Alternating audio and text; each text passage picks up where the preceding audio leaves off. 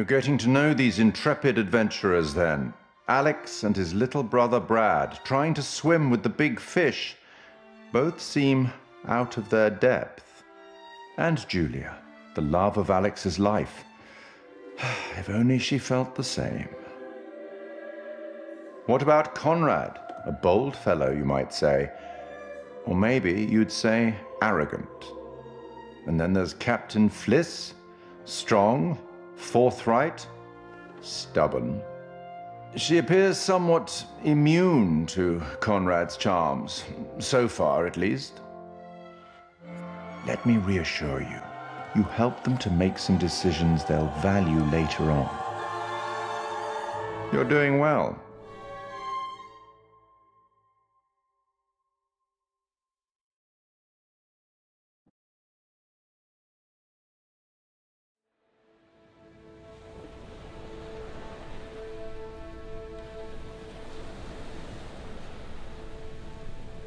How well preserved was the plane? Brad, it was insane. It was like traveling through time. No shit.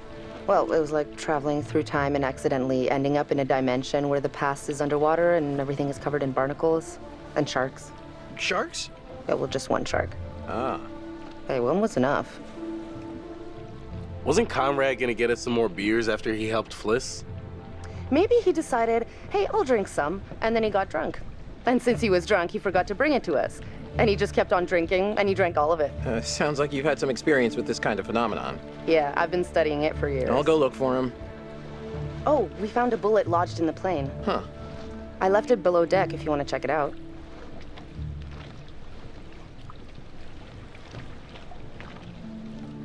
Can I ask you why you said no?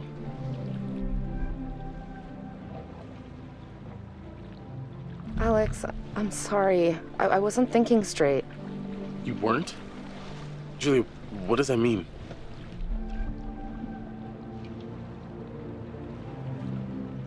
I know I should have a better answer for you, but that's just how I feel. Julia, I don't know what that means.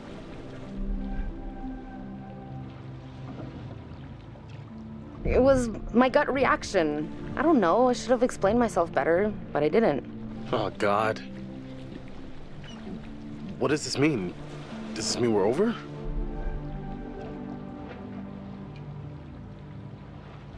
No, Alex, no. It's not over. But maybe when we get back, we should, you know, talk it out. Like for real. Damn it, Julia. Let's just have this trip together. Keep things the way they are. For now. For now? Until when? We should just try to have a good time while we're out here. Why ruin it? We don't want to just be miserable, right? I'm sorry. I can't deal with this. I need to find my brother. No, no. You stay here. I'll go get him. Hey, you seen my brother? Or Fliss? Uh, no, I uh, got distracted. Let's go get him. Sure. So, which one is, uh, you know, where the magic happens?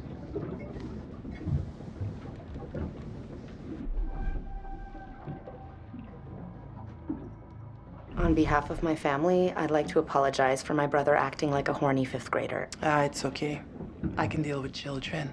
Conrad, beers, where are they? Oh, yeah, the beers. I was just getting them now.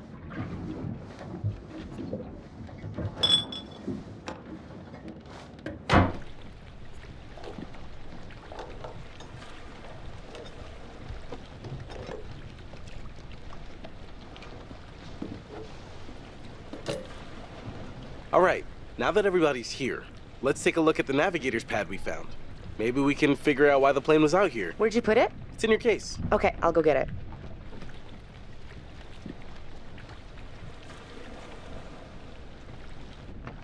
You and the lady going through a little. She said no. to. Wait, what am I missing? Damn, I'm sorry. What the hell? I, uh, proposed What? When? on the dive.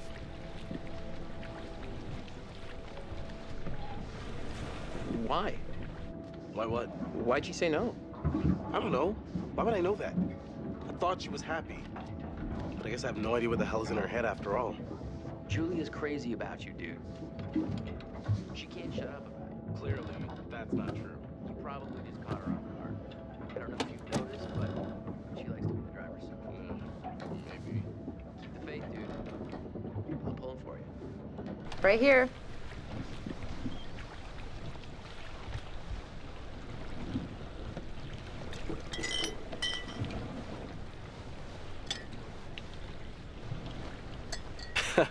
You'll get no resistance there. All right, everyone, check it out. Manchurian gold. Who wants to find some sunken treasure? So what do you think, Captain? Coordinates? Those are coordinates, all right. Maybe the plane's destination? You think we could get there by tomorrow? It takes a couple hours if the weather stays steady. Wow. You find anything else? This plane must have been shot down because it was riddled with bullet holes. I found one lodged in the fuselage. Huh. And it was full of life rafts. Must have gotten shot down before they could deliver all the rafts. There was only one missing. Reckless, all of you.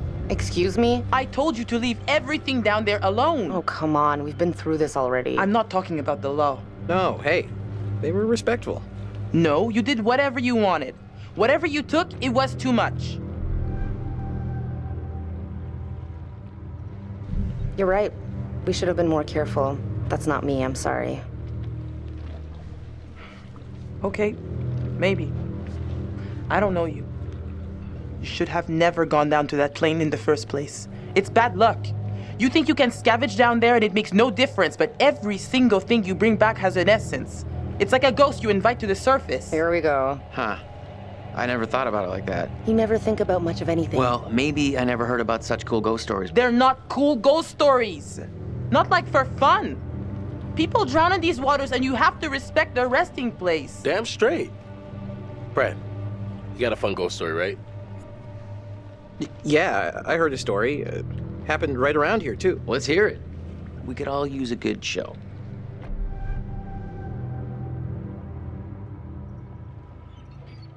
Let's hear it. I bet you can spin a good yarn. It's kind of messed up, actually. Scare away, little bro. Okay, here goes. This story is true. It had happened right near here, in an old lighthouse. Classic setup. Wait, true story? Where'd you hear this?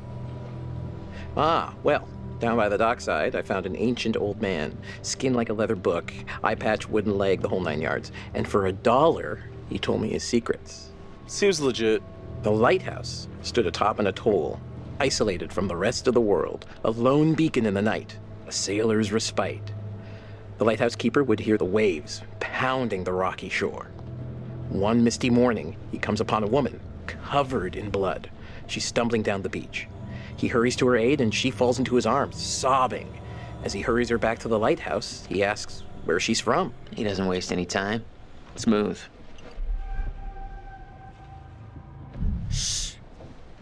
The woman answers, I live here, in the lighthouse. My parents are upstairs right now. Twist. Of course, the lighthouse keeper says, That isn't so. Of course, he's lived there alone for years. And the woman becomes hysterical and insists her parents are upstairs. So, they go to the top of the lighthouse, and there, splayed out on the floor, is a man and a woman brutally murdered with an axe. Always an axe. I mean, do people even use axes anymore? I'm just reporting the facts, cliches and all. Chopped up into little tiny giblets with an axe. So gross. Okay, so who did it? So, the woman, uh, she's still hysterical, says her husband did it. And he's still here. In the closet. Yeah. Marriage is a bitch, huh? So the lighthouse keeper creeps over to the closet, opens the door, and sure enough, there's a man inside. But he's cut his own throat. Horrified, he looks closer to see the dead man's face in the dark. Closer. Closer. And he sees it's his own face. And then its eyes bulge out and screams. So gross. Hey, oh, super twist. Nice. Nice one, Squire. You have me going. Pretty cool. Heavy on the cheese there, corn dog. Okay, you've all had your fun. We should all turn in. There's some weather heading our way. Uh-uh. No, no, no. No, because according to standard vessel regulation, we're all required one more beer before hitting the hay. What regulations are these? Eh, It's standard issue regulatory institutional protocol subdivision 1099. Uh huh. Where'd you read that? The internet. Oh, so you found a website that tells you to drink beer under every circumstance. I'm just following orders, ma'am. I'm into this website. 10-4, good buddy. And I'm out.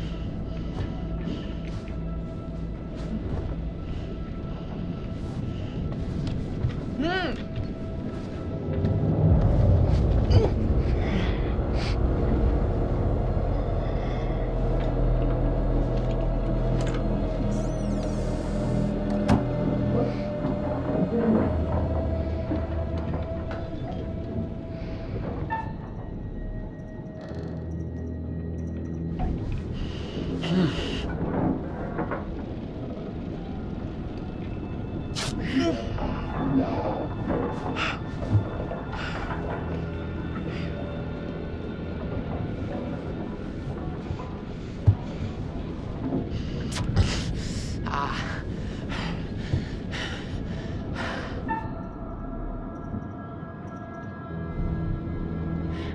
You just had to piss them off, didn't you?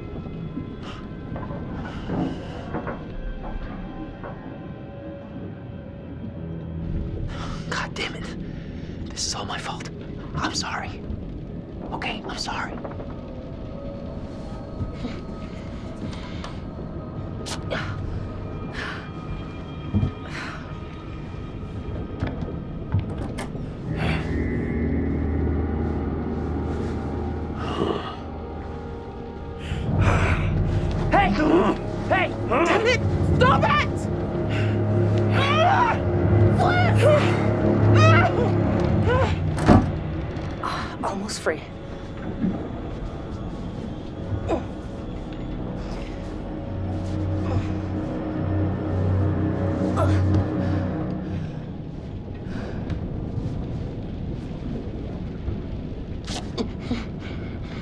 Hey, so, uh, good news, bad news. Bad news? I don't see how this could get any worse. The bad news is these are kind of maybe the fishermen I pissed off earlier. Oh, god damn it, Conrad. Great, just great. And the good news? Uh, I recognize them. How is that good news? I thought you were gonna ask the good news first. You're such an idiot, Jesus. Hey, Alex, what are they gonna do to us? I don't even want to know. I want to get out of here. I'm in a lot of danger.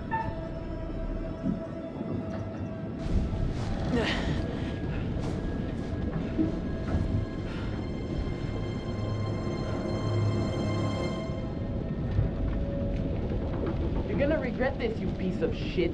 You're gonna rot in a cell.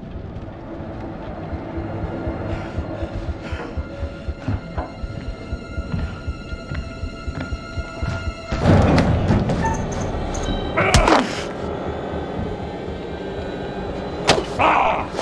motherfucker! Ah, I'll be back for you later.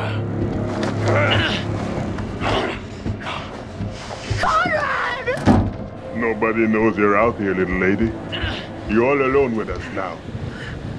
Let's make the most of it. You can go fuck yourself, you piece of shit. You're the little lady.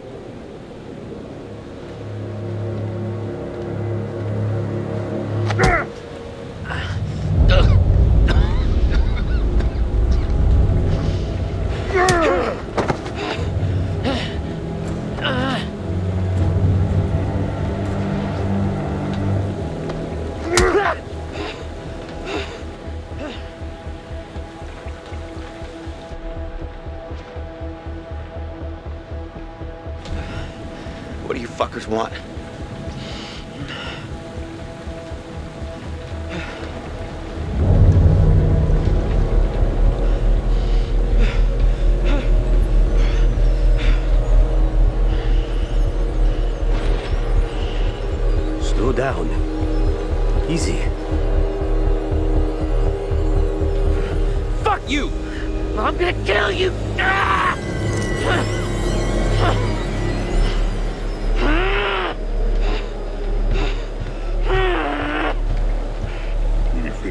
later.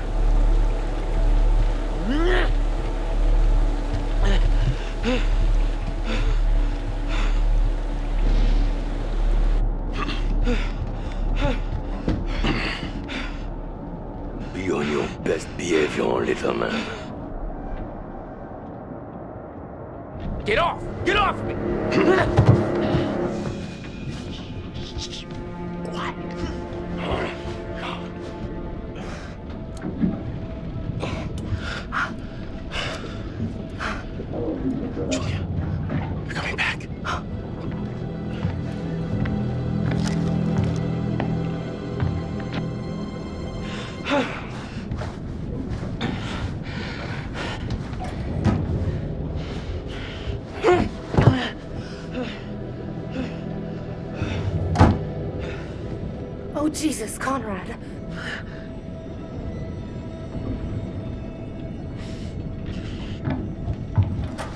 Wait, wait, no! Alex! Stop it! Let her go! You bastards! Hey. Dipstick. Shut the fuck up. I don't think they're gonna hit her. They haven't hit Fliss. Fliss sure seems to be getting buddy buddy with him.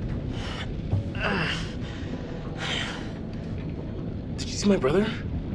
Yeah. He's hiding. He's okay. All right. Turn around.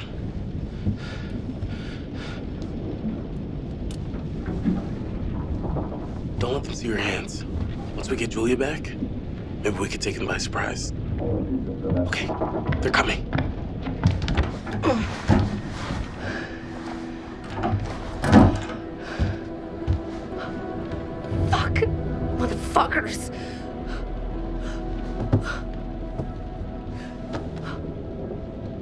Hey, hey, are you okay? What did they do to you? I'm fine. They didn't touch me. They asked about our parents, What? how much money they have.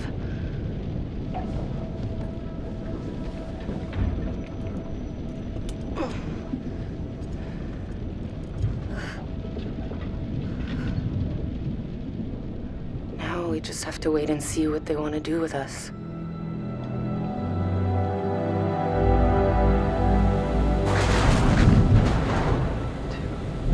Three, four, five, six, seven, eight. Eight seconds. Storm's eight miles away. They came here on a boat. Maybe we can take it. Yeah. Yeah, it's a speedboat. The main guy here. He's got a gun. If we play our cards right, we can catch him by surprise, take him out. If you can distract them, I can sneak around to the speedboat. The dude with the gun won't even realize until I'm long gone. Seven seconds. I can get out through the window. We gotta break these off first. Too loud. They'll hear it. We're gonna break them during the thunder.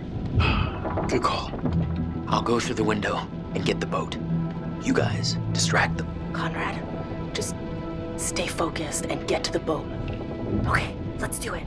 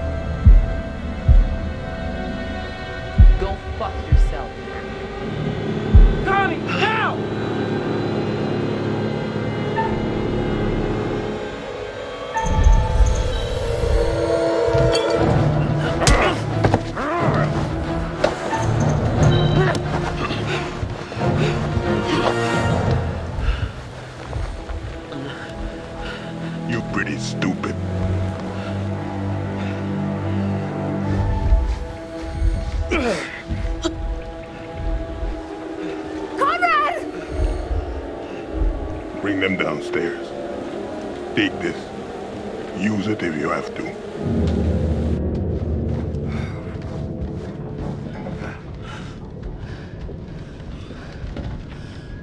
Sit down. Over there. You, right here. Sit. Now. Arrêtez, bande de cons! C'est mon bateau! Stop! Ferme-la ou je te mets mon poing dans la gueule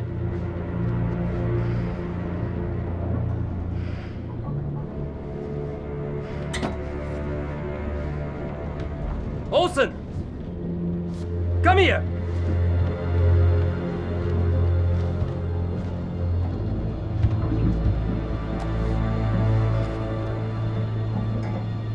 Which one of you is gonna tell me about this Manchurian gold?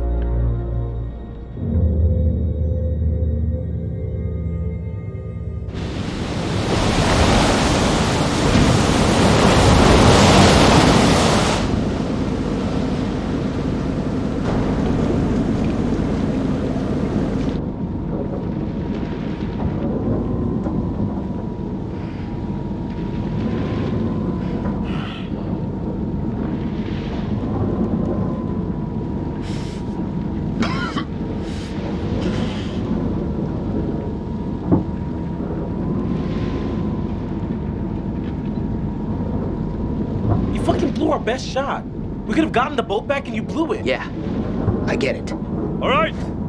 Shut the fuck up!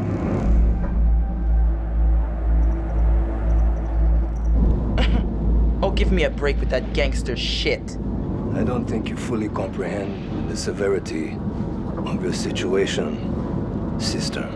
I'm just gonna say it. Fliss has gotta be in on this. She and these guys, they travel in the same waters. She's a captain and they barely laid a hand on her? I bet you told them about the Manchurian gold. They're in cahoots. I can't believe what I'm hearing. I just lost everything I have, and this is what you think? You're all in this together. This was a trap, and you set us up. Yeah, asshole! Put a cork in it.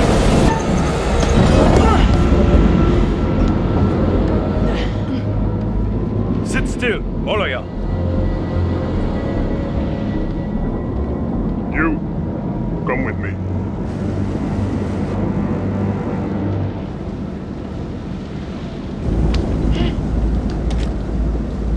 Find out how long the storm is gonna last. If you try anything, anything fishy, and there'll be consequences. Get it? Duke of Milan requesting weather update. Over. Duke, we read you. Everything okay? Over? Hey, uh, just requesting any information about this storm you can give us? It's a little bit hairy out here. Over. Big storm coming in from the east. Gonna hit you pretty hard, but should pass through your coordinates within an hour. You sound a little stressed, Duke. Please let me know if you need assistance. Not used to a little weather freaking you out.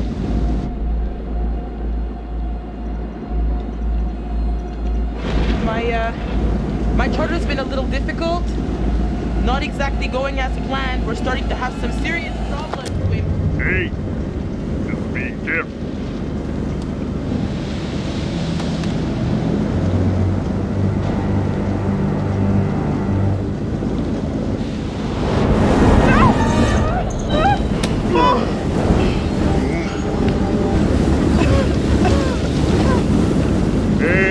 Better when we help each other out. You get that?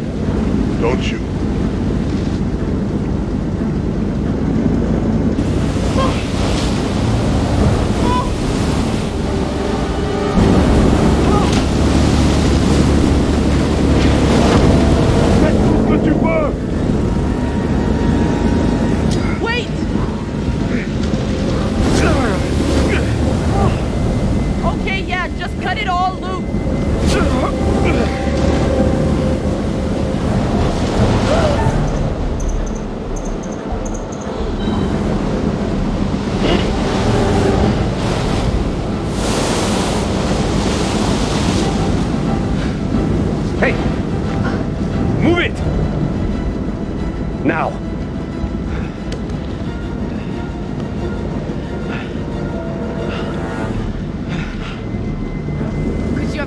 Any faster? Just trying to stay alive. Good job looking after number one. Real smooth. Great leadership, Fliss. Anyone know about Brad? Is he hiding somewhere? Brad is under the bunk bed.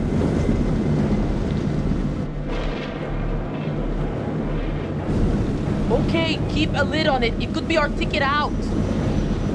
Brad stays hidden. Better off down there than with these psychos. Yeah, great. He could get killed down there. Brad's a big boy. He'll be okay. And it's probably better for us if he stays put for now.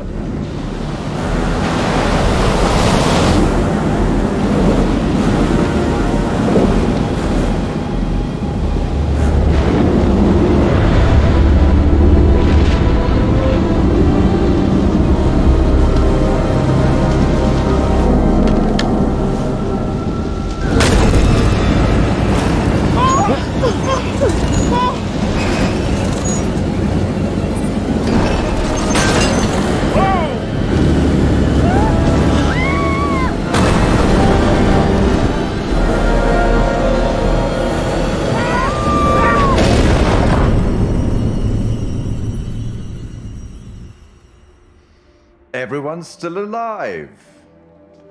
Things could have been quite different.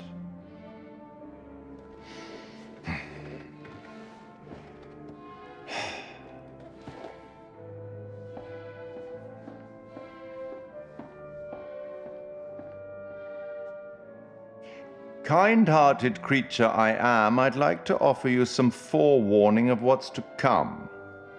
Tempted?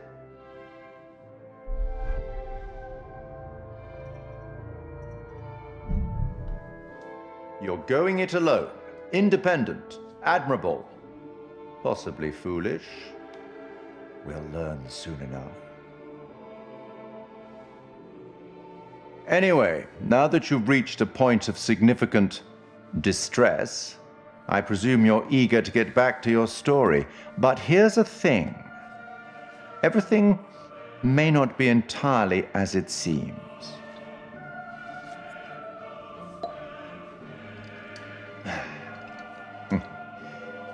Probably shouldn't have said that.